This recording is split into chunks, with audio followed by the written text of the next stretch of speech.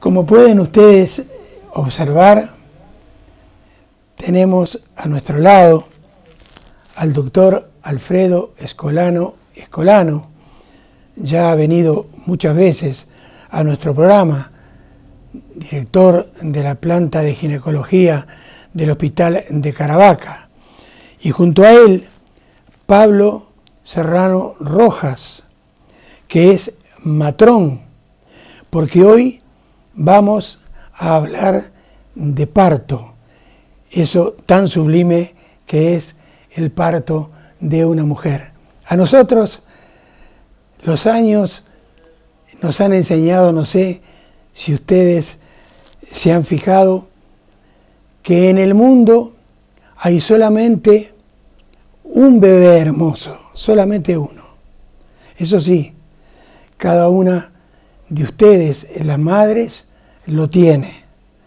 Y es importantísimo que a ese bebé, a ese niño que va creciendo, se le diga que las dificultades en la vida no existen. Hay que enseñarle a superarlas. Y para comenzar a hablar del parto, vamos a preguntarle a nuestro buen amigo Alfredo que nos concrete un poco lo que ha sido la historia del parto aquí en España. Buenas noches. Hola, buenas noches. y muchas gracias por haber venido. Hablemos de historia. Di por invitarme. Bueno, el parto, lógicamente, pues todos hemos nacido. Si hay una verdad eh, inescrutable en la vida es que todos hemos nacido y todos tendremos que morir. En España, en los años 60, hasta finales de los años 60, la gente paría en sus casas. Paría rodeado de su familia, paría atendido por una matrona, algunas veces era simplemente una mañada, donde le enseñaba a la parturienta pues las normas del cuidado del niño, cómo tenía que amamantarlo. Había mucha calidez, pero había poca calidad. En aquellos años todavía se morían bastantes niños por el parto en nuestro país y todavía se seguían muriendo madres, ¿eh? madres. Luego, finales de los 60, principios de los 70, se pasó al parto en los hospitales. Y el parto en los hospitales se ganó muchísimo en calidad, ¿eh? ya éramos un país civilizado, prácticamente desapareció la mortalidad materna y la mortalidad fetal pues se quedó en, ínfima, muy baja, no llegaba al 7 o 8 por mil aproximadamente. Entonces, en aquel tiempo, pues prácticamente se adquirieron unas prácticas ¿eh? que todos nos formamos en aquellos hospitales grandes de hace 70, 80 años, y a toda la mujer que entraba se le trataba de la misma manera. Yo explico que es el, el, traje ¿eh? que hacen en el corte inglés, es decir, a todo el mundo se le pone el mismo traje. Entraba la mujer por la puerta y se le rasuraba, se le enemaba, se le cogía una vía, se le rompía la bolsa, se le ponía la oxitocina, luego llegaba el periodo de dilatación y cuando terminaba el periodo de dilatación, si no eh, paría rápido, pues enseguida hacíamos un parto instrumental, hacíamos la ventosa o le hacíamos el forces. En aquel tiempo se ganó muchísimo, muchísimo, como estamos comentando, en calidad, ya prácticamente no se moría madres y casi no se morían niños, repito, en el parto, pero sin embargo se, se perdió mucho en calidez, ¿sabes?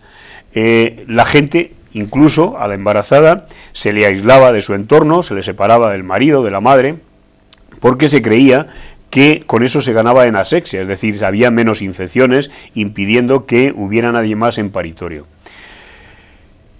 Eh, en aquel tiempo, para aquella, para aquella época, pues vuelvo a decir, fue una buena asistencia.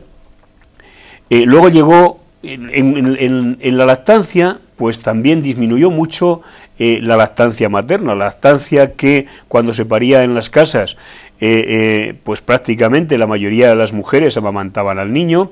Cuando se parió en los hospitales llegó la época de la independencia en la mujer, la mujer empezaba a incorporarse al trabajo, por otro lado la presión de las leches comerciales, ¿eh? las marcas comerciales de leche, pues también efectivamente hacían mucha presión sobre los médicos y sobre las embarazadas, y la mujer pues lógicamente amamantando al niño con una leche artificial, pues ganaban independencia.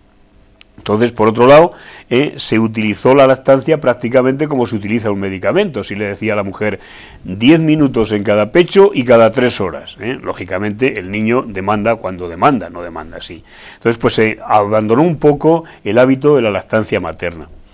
Luego, llegaron la época de los años 90, donde empezó las demandas judiciales y las cesáreas, luego hablaremos de ello si quieres, donde un porcentaje de cesáreas que estaba alrededor del 10-12% en casi todos los hospitales, con las demandas judiciales, pues lógicamente el porcentaje de cesáreas se disparó, porque siempre te decían, ¿y por qué no ha hecho usted una cesárea? ¿Y por qué no hizo usted una cesárea antes? Entonces el médico es humano ¿eh? y pasó pues de un 10 a un 30 casi por ciento de cesáreas, luego hablaremos, repito, si, si quieres, pero luego llegó a finales de los años 90, principios del 2000, eh, se planteó lo que se llamaba la medicina de la evidencia.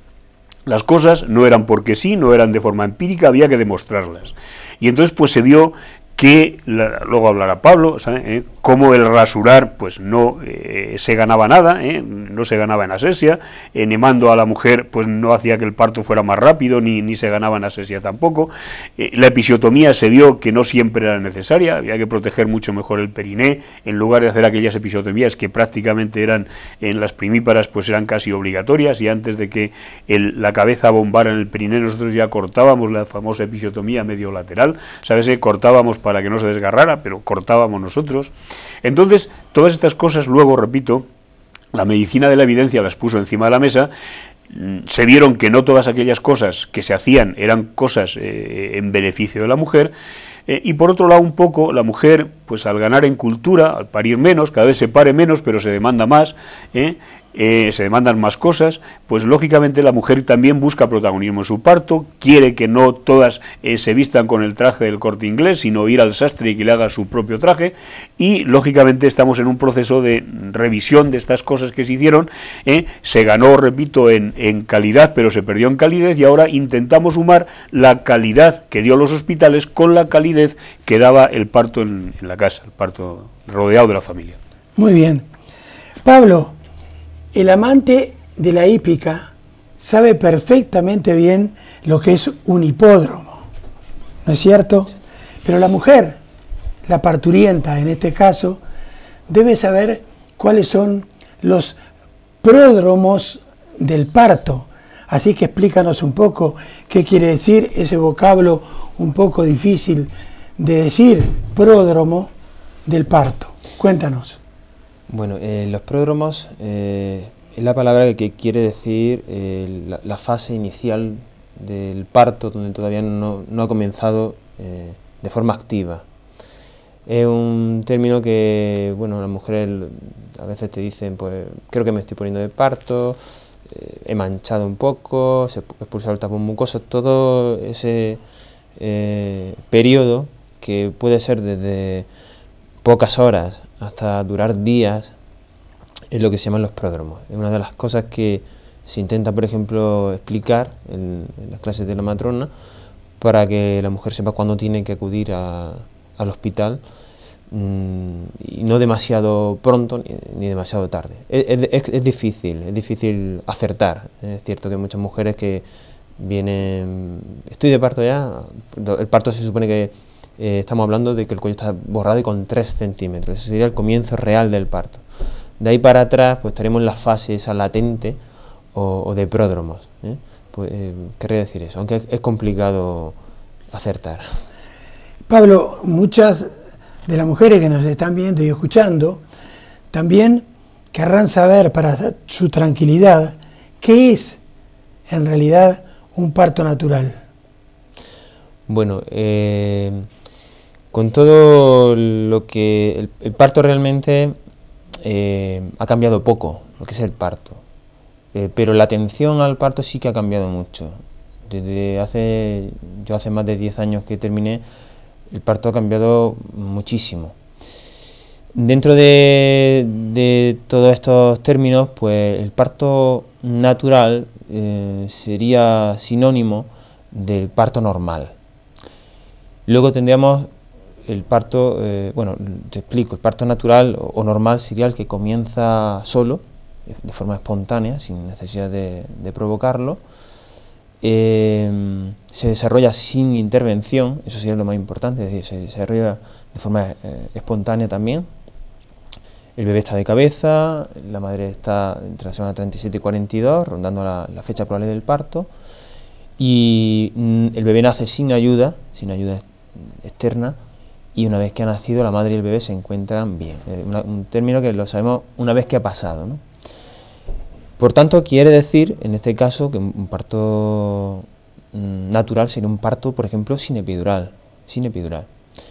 Si una mujer tiene, se pone de parto, eh, tiene dolor, se pone su epidural, que lo hacen la inmensa mayoría, mm, tiene su parto, en fin, que acaba todo bien, no podríamos decir que ha sido un parto natural, ha sido un parto eutóxico, donde todo ha salido bien, se puede equilibrar a decir normal, también porque normal es sinónimo de frecuente, pero no sería completamente natural porque ha intervenido encima, puesto en este caso una anestesia potente como es la, analgesia epidural. ¿no? Pero bueno, son términos que a veces van solapados. Los profesionales tampoco nos gusta mucho definirnos por uno concreto, como por ejemplo hace unos años se hablaba de parto humanizado. Claro, eso está un poco en el aire porque ¿qué quiere decir? Que los que, que formas de parto no humanizados en fin, es complicado establecer los límites, pero bueno, parto natural es un parto donde la mujer eh, se pone de parto sola, sin intervención, la matrona fundamentalmente el papel que tiene eh, acompañarla y, guiarla en, su proceso, está acompañada por una persona, etcétera, y bueno, y el resultado es eh, que nace su hijo sin ayuda externa, sería. Muy bien. Alfredo, la gente querrá saber también acerca de la natalidad alta, media, baja aquí en España. ¿Cómo ha evolucionado esa natalidad aquí en la madre patria? Bueno, hay varias cosas eh, que son claras y evidentes. Primero es que se ha retrasado muchísimo la maternidad. Hace 20 años la edad media del primer parto era 24-25 años, ahora estamos por encima de los 30. Hay incluso un 22% de mujeres que paren el primero por encima de los 35 años. Lógicamente, antes hablábamos de la independencia femenina, la mujer primero pues, termina su carrera, luego busca trabajo, luego se sitúa en la vida y al final decide ser madre. ¿eh? Entonces, por un lado, como estamos comentando, primero retrasa la maternidad mucho. Hoy día se ha visto que prácticamente son cuatro o cinco años con, con, respecto a hace 20 años el retraso de ese primer hijo. Y luego, lógicamente, qué duda cabe que ha disminuido mucho el número de hijos por madre. Eh, en, el año 93 estábamos en un coma perdón, en 2,1 de partos por mujer, ¿eh? de niños por mujer, en, mil, eh, en el 2003 se llegó a 1,25, que era el número más, el más bajo que hemos tenido en España. Estamos junto con Italia y, Alemania ahí muy en una de las cifras más bajas de natalidad. Luego repuntó un poco con la venida de los emigrantes, en el 2006-2007 se puso en 1,4 aproximadamente, pero de todas maneras estamos hablando de que la mayoría de las mujeres no llega ni siquiera a los dos hijos, ¿eh? lógicamente contando la que no se casa. ¿eh? Eh, repito que estamos ahora mismo en, en 1,2, 1,4 hijos por mujer en España. Y por otro lado, repito, el hecho muy evidente que se está retrasando la maternidad, las dos cosas son claves. Alfredo, si viene una guerra, cuanto más natalidad haya, más hombres, entonces tendrá el país para poder defenderse. Entonces la pregunta para Pablo es, los países del entorno, Portugal, Francia, Italia, Bélgica mismo, Suiza, eh, ¿cómo están con respecto a España en lo que se refiere a la natalidad? Bueno, pues contrario a lo que se pensaba, la, imagen del, latino, español, italiano, etcétera, eh, que tenía muchos hijos, no, ahora mismo no es cierta. Siempre hemos pensado que los nórdicos eran personas frías, pero mm, la política de, esos países, se pone siempre el tema del ejemplo de los países nórdicos porque ocurre que es cierto que más al norte las políticas son políticas protectoras de, la maternidad, como por ejemplo eh, la baja, la baja maternal, que dura prácticamente, como media te podría decir que están en torno a un año de baja para la madre, cobrando un 80% del sueldo o quizás pueda elegir entre eh, trabajar unos, o sea, estar unos 10 meses de baja cobrando el, 100% del sueldo. Estas mujeres luego tienen eh, muchas veces guarderías dentro de la empresa. Eh, hay cantidad de facilidades que hacen que la mujer se anime a tener más hijos. Y bueno, fácilmente si te vas, por ejemplo, a San Javier y, vas viendo cómo bajan de los aviones, las parejas de, turistas nórdicos siempre vienen con dos o tres, normalmente tres hijos rubios en distintas edades y, muchas veces estas mujeres lo que hacen es que tienen su primer hijo, eh, a los dos o tres años de estar en excedencia tienen el segundo, y bueno, y una vez que han terminado de, cumplir, porque realmente están cumpliendo una función por el país, están haciendo un trabajo, ¿no? Terminan de esa etapa reproductiva de tener su, pongamos, siete, ocho años de, parón, se incorporan al trabajo y las empresas, que es lo más importante, no le ponen mm, trabas, sino más bien le ponen facilidades. Entonces, en cuanto a la natalidad, esa sería la tendencia. Aquí hacen falta políticas hasta, antes de la crisis se habló de que la, baja maternal, que aquí en España son unas 16 semanas, había que aumentarla.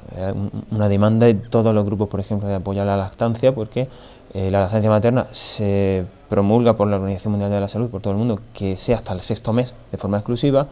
Pues claro, es totalmente incongruente que una mujer al cuarto mes se tenga que incorporar a trabajar y le digas que tiene que estar hasta el sexto mes continuamente con el bebé eh, dando la estancia de demanda. Eh, totalmente imposible. Ese es otro de los motivos por los que allí, Noruega, Suecia, etcétera, tienen tasas de lactancia altas y aquí en España tenemos las tasas de lactancia, en concreto en la comarca del noreste, de las más bajas.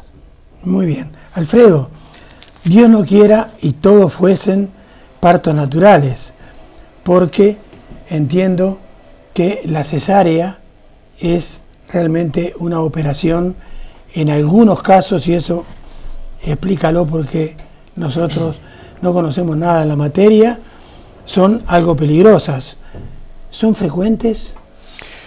Hombre, el parto hablábamos antes de que es un proceso fisiológico que la inmensa mayoría de las veces termina bien, eh, pero la mujer pues cada vez demanda más confianza, demanda más seguridad, demanda más intimidad, eh, la OMS, ¿qué es una cesárea? Bueno, eh, hacer una cesárea significa sacar al niño que no nace por su sitio, o bien porque no cabe, o bien porque correría riesgo, o bien porque las está pasando mal y hay que sacarlo en un momento determinado, eh, o bien porque la mujer no dilata, sacarlo en lugar de que para por, por vía vaginal, luego veremos en un parto, sacarlo de la barriga, ¿sabes? Abriendo el útero. ¿eh? Se hace una raja en, el abdomen, se abre el útero y se saca directamente al niño. El hacer una cesárea, desde el punto de vista técnico, es una cosa relativamente sencilla. Lógicamente, la mujer corre un poco más de riesgo, se incorpora más tarde a su, a su trabajo, suele sangrar un poco más. Eh, eh, pero bueno, es muy raro que una mujer tenga una complicación. Lo único que, una vez que ya has hecho una cesárea, pues el porcentaje de posibilidades de que en otro futuro embarazo termine una cesárea es muy alto. Eh, la OS recomienda, el número ideal de cesáreas, recomienda que sea alrededor del 15%. Hay países de nuestro entorno, países, estábamos hablando antes de Holanda, de Bélgica, donde el porcentaje de cesáreas pues ronda por ahí un 13, un 14%, nosotros en el hospital también hubo una década, prácticamente durante la década de los 90, estuvimos también alrededor del 13, el 15% de cesáreas, pero luego, como comentábamos, eh, a finales de los 90 empezó la demanda, las demandas judiciales. La medicina no es una ciencia exacta, la mayoría de los médicos somos vocacionales, hablábamos antes de que ser médico cuesta muchísimos años, eh, ser un profesional mediano, pues cuesta seis años de carrera, uno o dos años de preparación del MIR, cuatro años del MIR y luego otros cuatro o cinco años para coger todos los truquillos de la especialidad. Es decir, son muchos años. Y luego continuamente reciclarse. Estábamos hablando antes de que nosotros nos formamos con una serie de principios en el parto y ahora pues las cosas van por otro lado. Pues lógicamente el médico se tiene que adaptar. Si la mujer eh, no pare en la posición de litotomía como paría antes y pare en cuclillas, hay que aprender cómo, cómo se asiste ese parto. Eh, entonces, Repito, las, las, demandas judiciales, la pérdida de la confianza del médico paciente, pues todas estas cosas han hecho también interviene un poco el que se retrase la maternidad, como antes comentábamos, las fecundaciones in vitro con un porcentaje de gemelos mayor también, eh, pero fundamentalmente ha sido las demandas judiciales lo que ha hecho que el porcentaje de cesáreas pues prácticamente se dispare. Y hay países con mala asistencia obstétrica, tipo Brasil, donde se llega a un 80% de cesáreas. Hablábamos de que Holanda está alrededor del 12 o el 13% y la asistencia pues es muy parecida en España. Sin embargo, nosotros doblamos ese porcentaje de cesáreas pues prácticamente desde hace unos 10 años. Incluso dentro de los mismos hospitales hay médicos que hacen menos cesáreas, otros que hacen más. Eh, ya no comparamos la medicina pública con la medicina privada. La medicina privada pues prácticamente casi el 50% se aproxima mucho de los partos terminan en una cesárea, porque el parto algunas veces es un proceso lento y hay que dejarle la dilatación eh, puede, puede durar 8, 10, 12 horas perfectamente. Entonces, si el niño va bien, hay que dejarle tiempo para que pueda dilatar. Lógicamente el médico, como comentábamos antes, pues también es humano y si al médico le en el momento que no termina un parto bien lo llevan al juzgado eh, y siempre se le pregunta por qué no ha hecho la cesárea o por qué no ha hecho esa cesárea antes, pues en el momento que ve una complicación, pues lógicamente tira por el camino del medio y hace la cesárea. Para el niño pues también es un poco más problemática la cesárea que cuando nace el niño por vía vaginal, cuando nace por, el parto, por su canal, pues lógicamente se limpian los pulmones de secreciones eh, y los echa, los expulsa por la boca cuando lo sacamos en cesárea. Algunas veces, sobre todo si es un poco prematuro, hace con más frecuencia lo que llamamos nosotros el pulmón húmedo. No se limpian bien esas secreciones. Lógicamente corre un poco más de riesgo la madre, se incorpora más tarde a su trabajo, corre un poco más riesgo el niño y, repito, la pérdida de confianza entre el médico y el paciente es una lástima, eh, haya hecho que se multiplique prácticamente por dos, sin ser garantía de mejor asistencia obstétrica, el número de cesáreas. Yo, por otro lado, me gustaría hacer un poquito de hincapié en esto. ¿sabes? Eh, eh, los médicos Casi todos somos vocacionales, por lo que comentábamos antes, o sea, ni se cobra excesivamente, sobre todo con la cantidad de horas de estudio que lleva la formación. La medicina no es una ciencia exacta, todos además tenemos autoestima y nos sentimos a gusto cuando las cosas terminan bien, pero yo creo que habría que retomar otra vez la confianza, la relación médico-paciente, en donde la confianza fuera mutua, no ser una médico paternalista que llevara a la, a la paciente donde él quiere, sino que muchas cosas se discutieran entre los dos, cada vez la mujer tiene un nivel cultural mayor, eh, se informa más, muchas cosas se podrían compartir, se podrían corresponsabilizar, eh, satisfaría probablemente más a la mujer y creo que seguramente disminuiría el número de, demandas y también, lógicamente, el médico se sentiría más cómodo y disminuiría el número de cesáreas y podríamos llegar a ese número eh, que considere ideal la OMS, repito, de alrededor del 15%. Muy bien. Pablo, creo que nos has traído por ahí algunas fotos para ilustrarnos e ilustrar al televidente acerca de cómo se debe preparar una mujer para el parto. ¿Puede ser? Eh, sí, bueno, son una mezcla de fotos mm, variadas de, las nuevas cosas que, van a encontrar las mujeres en los paritorios de hoy en día. Como te digo, hace 10 años, pues la atención era totalmente diferente. Entonces, si quieres, las podemos ir viendo y lo vamos comentando. Por ejemplo, en los paritorios ahora encontramos, en casi todos los paritorios, estas pelotas, que son simples pelotas de, goma, eh, sirven para, para sentarse eh, durante la dilatación, así la mujer está en una posición vertical. La primera parte de la dilatación es importante que la mujer no esté acostada en la cama. Eh, a veces también puede aliviar, haciendo algunos movimientos de rotación, mm, el dolor, el dolor y por ejemplo en este paritorio, esto es en el extranjero, pues no, parece mucho a, los nuestros, tenemos también ese taburete pequeño que sirve para eh, parir eh, sentada. y al fondo vemos esa especie de, cuerda o, paño ¿no? vertical que sirve para, para tirar, para colgarse. Mm, cuando duele mucho la espalda, la zona lumbar, muchas mujeres, hasta que no se han conseguido poner, no se han puesto la epidural, si, si es su deseo, pues pueden tirar de ahí y eh, se le alivia mucho el dolor. En este caso, esta dilatación pues tiene toda la zona de, cajones, digamos, camuflada, no deja eh, muchas cosas a la vista. Hay una bañera que se puede utilizar para dilatar o para parir, en este caso se usa más para, dilatar, y una cama articulada, que en este caso nosotros también la tenemos en la comarca, que permite múltiples posiciones. Otro tema que eh, de momento mm, comienzan algunos hospitales tímidamente a, ponerlo, porque es complicado y bueno, es costoso, son el tema de las bañeras para dilatar. El agua caliente eh, viene muy bien, viene muy bien, acorta también el periodo de dilatación y es un elemento más que, se usa. En este caso, bueno, esto eh, son fotos de hospitales de Europa eh, son distintas posiciones que nos enseña la, matrona supervisora, donde se, sienta también la pareja, la pareja con la, con la señora delante. Y bueno, eh, aquí tenemos otro ejemplo de, silla de parto, esta es más artesana, de madera. Estas fotos son de aquí, de nuestra zona. La mujer está sentada en la dilatación mm, sobre una de estas pelotas eh, su pareja, en caso de dolor lumbar, no sé si es la siguiente foto, no, no era la siguiente. Podemos pasar a la siguiente foto. En este caso está usando un aparato que no lleva cable, que le permite movilidad, permite eh, levantarse, caminar, eh, adoptar distintas posiciones. Ya mm, volvemos a evitar la cama. Aquí vemos un grupo de mujeres que han venido a, conocer cómo funciona el, mecanismo de, circuito del paritorio y están conociendo de antemano cómo se... En fin, que aunque se van a encontrar, porque es muy importante que las expectativas de la mujer, mm, o sea, no, crear falsas expectativas. En este caso, esta es una de las posiciones mm, con una barra que, que viene acoplada para este para esta mesa de parto, ya no le llamamos potro, ya le llamamos cama de parto o mesa de parto.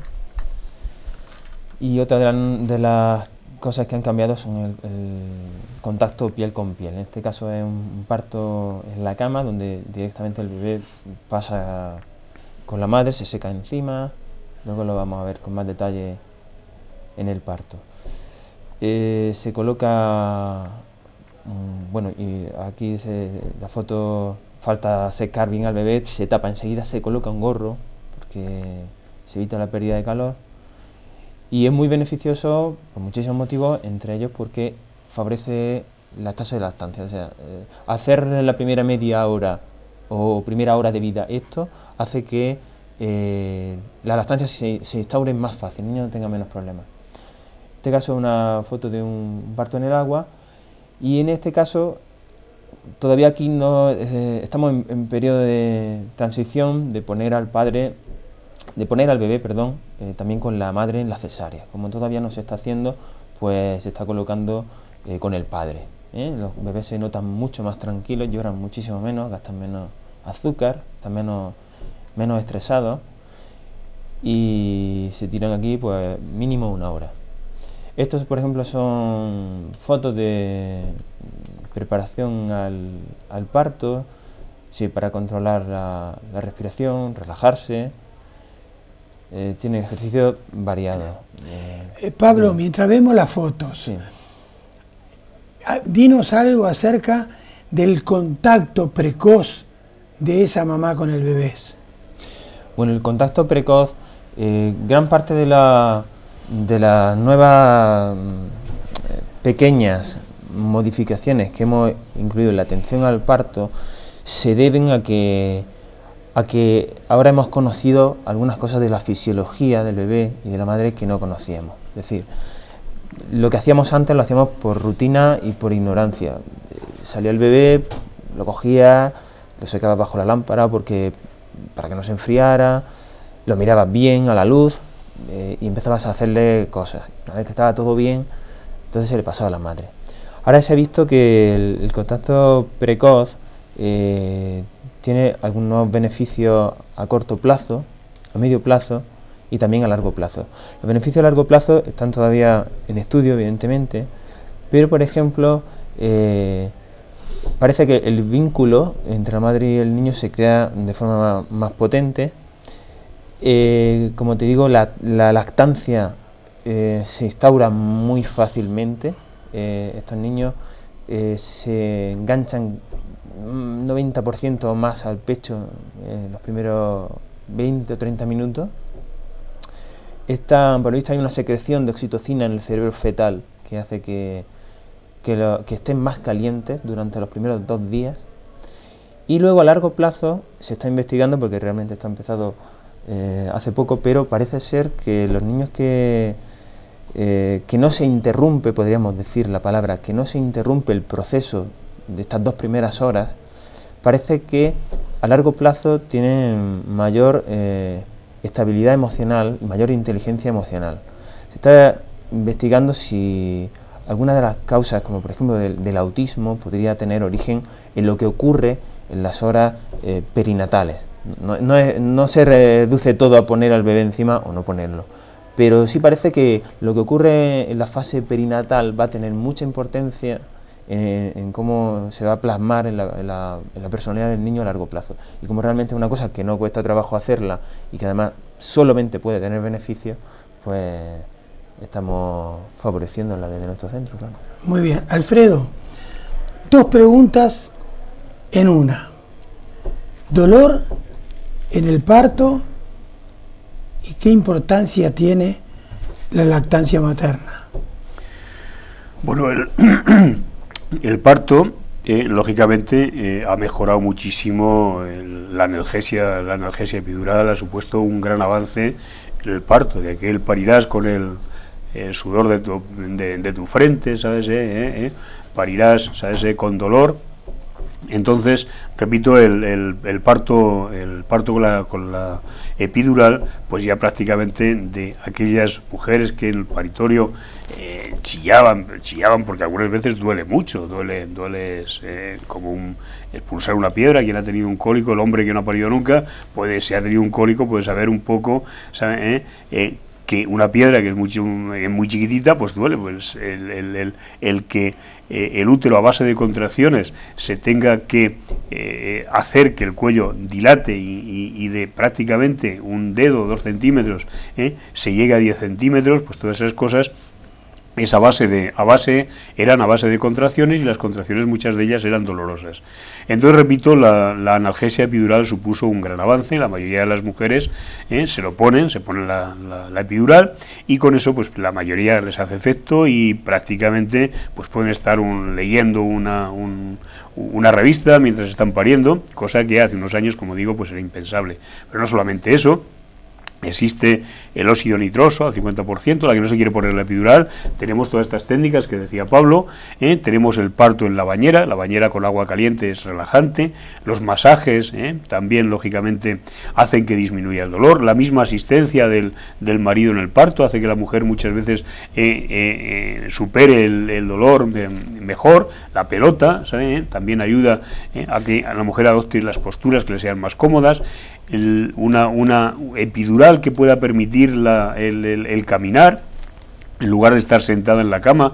¿eh? Eh, nosotros tenemos también el paritorio lo que se llama la telemetría, que es lo que ha salido ahí en, en, una de las fotos de Pablo. Entonces puede estar el niño perfectamente monitorizado y la mujer caminando en el, en, el paritorio en lugar de estar, en lugar de estar tumbada. ¿no? Hay varias cosas en las que se ha ganado muchísimo, repito, con respecto al dolor en el parto. Y luego la lactancia, pues lógicamente, que duda cabe, que los niños que se amamantan, luego hablará Pedro, eh, hablará Pablo, perdón, ¿sabe? Eh, que es un enamorado de la, de la lactancia, de la lactancia materna y de la liga del parto, Yo hablaré sobre todo del tema de la madre, pues probablemente una de las, de las causas, eh, lo decíamos el otro día, que haga que el cáncer de mama esté aumentando es el retraso de la maternidad y el no amamantar a los niños. El tener un niño por debajo de los 25-26 años y amamantarlo es como si fuera una vacuna contra el cáncer de mama. Por supuesto, el útero, una vez que el niño ha salido, pues se tiene que volver otra vez a contraer.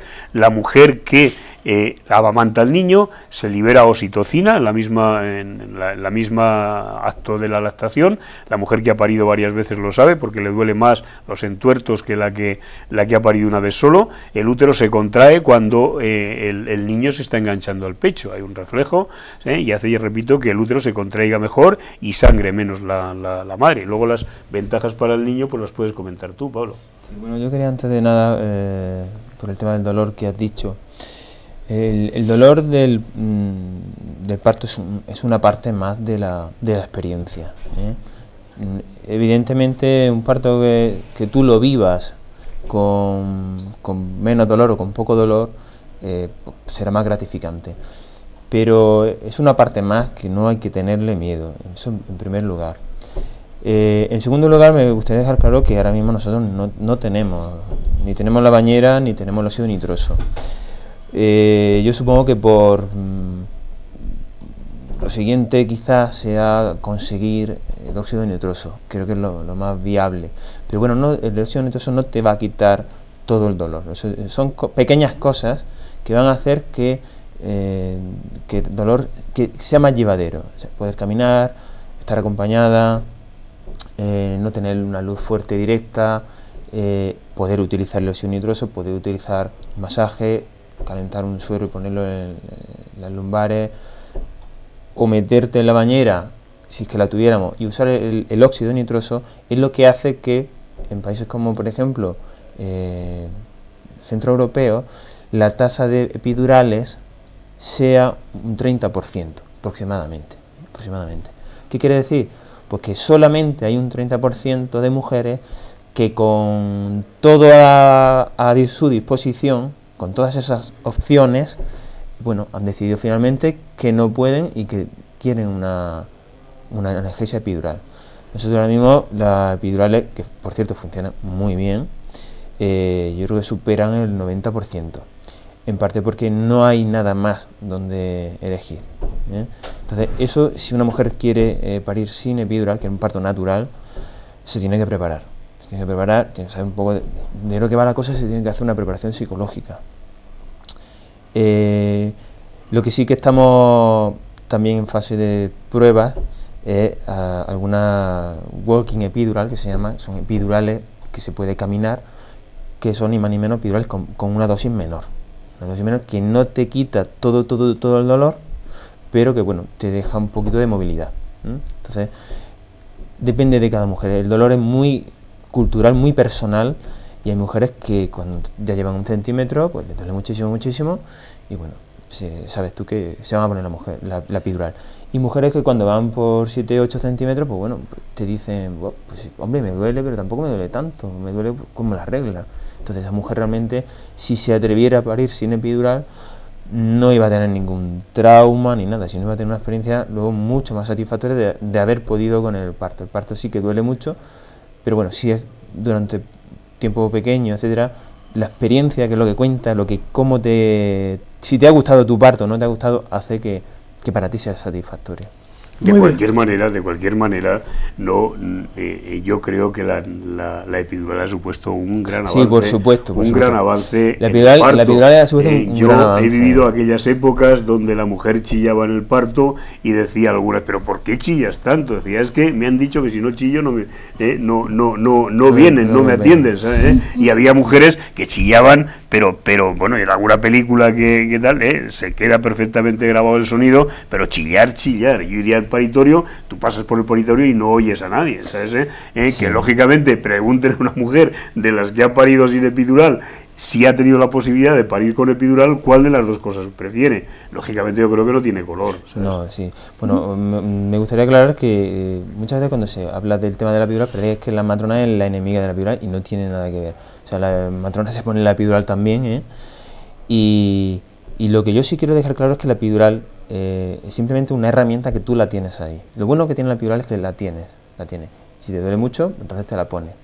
Pero yo creo que es un error que una mujer que todavía ni ha empezado el parto, ni sabe si le duele, ni sabe, dice, no, yo me la pongo, en, personal, ¿no?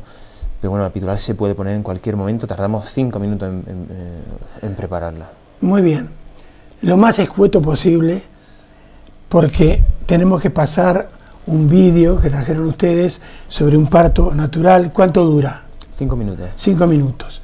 Pero de todas maneras, en dos minutos, una pregunta para cada uno. Para ti, Pablo, para que nos hables un poco de las complicaciones que pueden haber. Y para ti, Alfredo, que nos hables qué es, como si fuéramos a un restaurante, cesárea a la carta. Comenzamos contigo. Bueno, yo eh, soy matrón y realmente las complicaciones eh, forman parte del, de, la, patología de lo que debería ser hablar un médico. El caso de la matrona, su trabajo es, como te digo, acompañar a, la mujer y vigilar que el proceso sea normal. O sea, el parto que, por ejemplo, vamos a ver en tele, ahora enseguida, pues se desarrolla sin complicaciones. Complicaciones hay muchísimas, muchísimas. Lo único que yo te diría es que toda mujer que se queda embarazada debe saber que asume riesgos, porque es complicado todo lo que ocurre, desde la salida de la placenta, cualquier cosa puede en, un solo segundo complicarse. Pero bueno, eh, la vida es así y no hay que pensar en que vamos a tener esa mala suerte. Bueno, el, el, parto eh, efectivamente es un proceso fisiológico que, a Dios gracias, en el prácticamente en el 100% de las veces termina satisfactoriamente, ¿eh? con el niño contento, la madre contenta, el padre contento, todo el mundo contento. Pero en un momento determinado, y ese es el grave problema del parto, que va todo perfecto y de buenas a primeras se tuerce. Y se tuerce, pero en nada, o sea, va fenomenal y de buenas a primeras, ¿sabes? ¿Eh? Hace un sufrimiento fetal agudo, Y tenemos que correr hacia una cesárea o hace un prolapso de cordón y tenemos que correr una cesárea, eh, o hace un desprendimiento de placenta, que es un cuadro gravísimo, y si no lo detectamos pronto se muere el niño y antes se moría la madre también, y tenemos que actuar mm, con rapidez, y después del parto pues puede haber una hemorragia eh, importante y puede correr riesgo la, la, vida de la mujer si uno no actúa con diligencia, pero gracias a Dios, pues lógicamente los profesionales, a eso me refería yo antes, pues estamos capacitados y preparados para resolver con holgura cualquiera de estos eventos que sucedan, aunque sucedan rápidamente. ¿eh? Normalmente, pues está la mujer en todo momento monitorizada o está controlada por la matrona o el matrón y en el momento que eh, el, eh, la, dirección fisiológica, el, proceso fisiológico se, se, interrumpe y viene una complicación, pues rápidamente actuamos y muchas veces pues hay que hacer, como estamos comentando, una cesárea urgente y atender. A Dios gracias, pues nunca ha habido ningún problema en el parto suficientemente grave para que suponga la vida de la mujer por una hemorragia ni por ninguna cosa de estas en el paritorio. Y la cesárea de la carta me preguntabas, ¿qué es la cesárea de la carta? Bueno, pues la gente pues cada vez pare menos, hablábamos antes, eh, y quiere cada vez la mujer trabaja y oye que los famosos tal día va a parir y le hacen una cesárea a tal hora de tal día. Y además, como repito, pare poco y se ha visto que algunas veces eh, no sufre el suelo pélvico. El, podríamos hablar un día de, de, las disfunciones del suelo pélvico, no sufre la vejiga, no sufre el recto, no sufre el canal del parto y si se hace bien hecha una cesárea, pues la verdad que el número de complicaciones tampoco es excesivamente grande, pues mucha gente demanda la cesárea. No, yo tengo miedo al parto, yo no quiero parir, yo quiero que me hagan una cesárea y fulanito y a tal día. Y eso es una cosa que ven que la, gente que sale en las revistas muchas veces lo, reclama y algunas veces, pues efectivamente, la gente quiere una cesárea, algunas veces sin que esté indicada. Nosotros los médicos somos un poco reacios a hacerla cuando no está indicada, pero es una cosa que se impone y cada vez la gente lo pide más. De momento yo creo que hay que ser sensato y eh, cuando hay que hacer la cesárea se hace, pero cuando es un parto natural, pues mejor el parto natural. Muy bien. Yo les agradezco muchísimo a los dos eh, la visita. Es la primera, espero que no sea la última. Bueno, Alfredo viene muy seguido a nuestro programa. Y para terminarlo, entonces vamos a pasar ese vídeo que alguno de ustedes comentará mientras se está viendo. Y como nosotros siempre le decimos al terminar entonces esa filmación, si este programa les agradó, dentro de siete días y siete noches nos volvemos a reencontrar aquí en esta misma casa. Hasta entonces. Bueno, me gustaría comentar en primer lugar que este parto, eh, eh, tenemos que dar las gracias a la señora que ha dado su, su imagen para que todos disfrutemos de él. Es un parto eutóxico, un parto normal. Eh, hemos eliminado todas las partes donde se pueda reconocer para mantener su privacidad. En este caso la señora lleva la analgesia epidural, ha estado empujando un buen rato, y se va a poner en una posición lateral por dos motivos. Mm, principalmente porque el sacro queda libre y eh, la cabeza mm, puede bajar más fácilmente, la cadera estará libre. Y en segundo lugar porque la posición lateral eh, hace que el número de, de garros sea el más pequeño de todos. Entonces mi compañera sujeta eh, la pierna, ella va empujando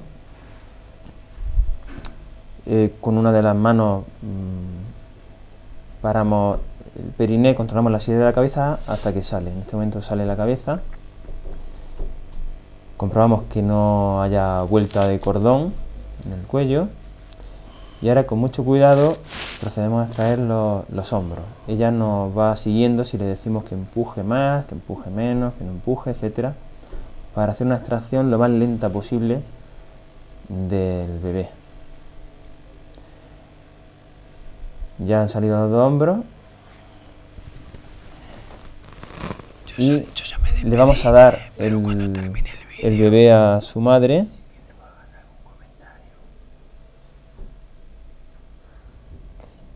lo ponemos encima del abdomen.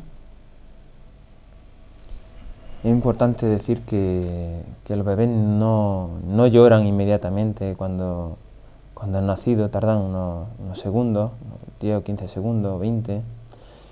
Y lo primero que hacemos es secarlo. Le secamos bien y, y así evitamos la pérdida de calor, que es lo más lo más desagradable para el niño, pasar de 37 grados a lo mejor a, 22 grados que hace con el aire acondicionado en verano. Y bueno, enseguida en un minutillo de tiempo el bebé cuando ha llorado ya tiene un color mucho mejor, más rosado.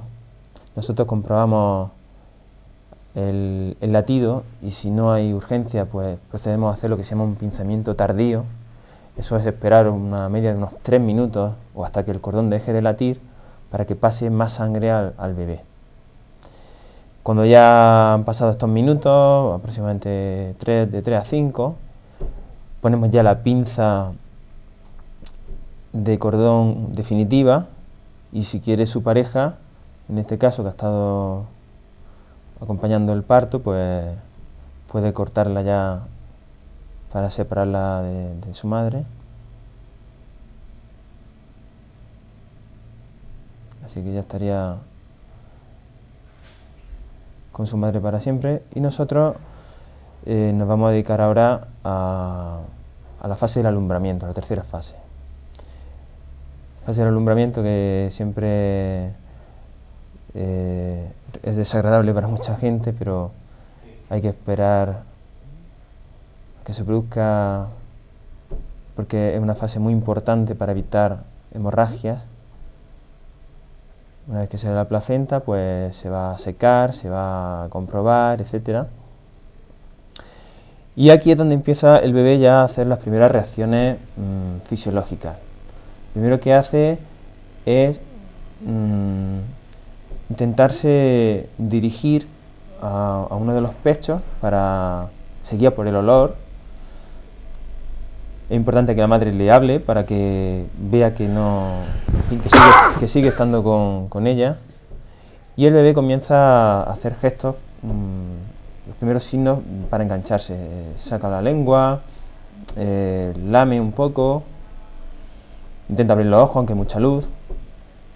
Nosotros le añadimos siempre un, gorro, que 25% del, calor se escapa por, por, la cabeza, que es muy grande para su cuerpo.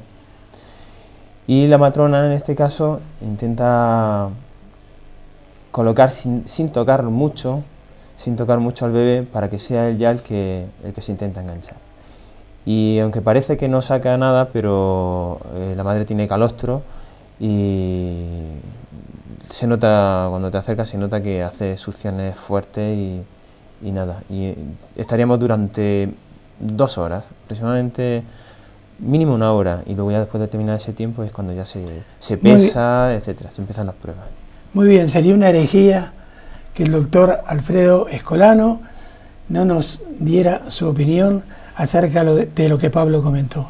Bueno, pues que habéis visto un parto natural, un parto natural que se puede, que ha sido asistido en nuestro hospital recientemente, que hace 10 años no se podría hacer esto, que el parto, como estábamos comentando antes, es un proceso, la inmensa mayoría de las veces, eh, muy satisfactorio de encuentro, de encuentro de la madre con el hijo eh, y muchas veces también con la pareja, no se podría haber hecho porque no entraba la pareja al parto, desde hace unos 10 años ya la, la pareja entra al parto, ¿eh? Seguridad, eh, hay la misma seguridad que ha habido siempre, que es lo que demanda la mujer fundamentalmente, que no le pase nada ni a ella ni a su hijo, y pueden estar completamente seguras, ¿eh? que en el hospital se hace una buena asistencia, se demanda confianza, yo les pediría que tuvieran confianza en los profesionales, que estamos asistiendo a los partos, tanto las matronas como los ginecólogos, que hubiera otra vez una buena relación médico-paciente y se demanda fundamentalmente intimidad, que es en lo que probablemente